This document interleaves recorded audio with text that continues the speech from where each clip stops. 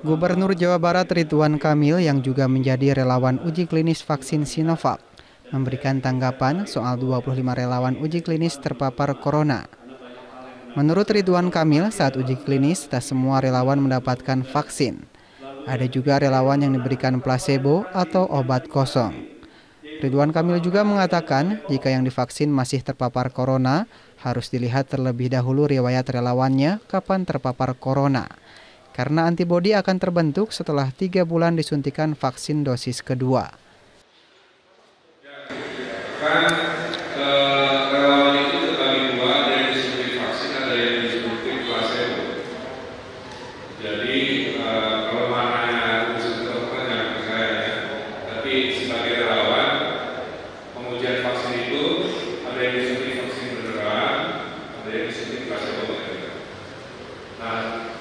Eh,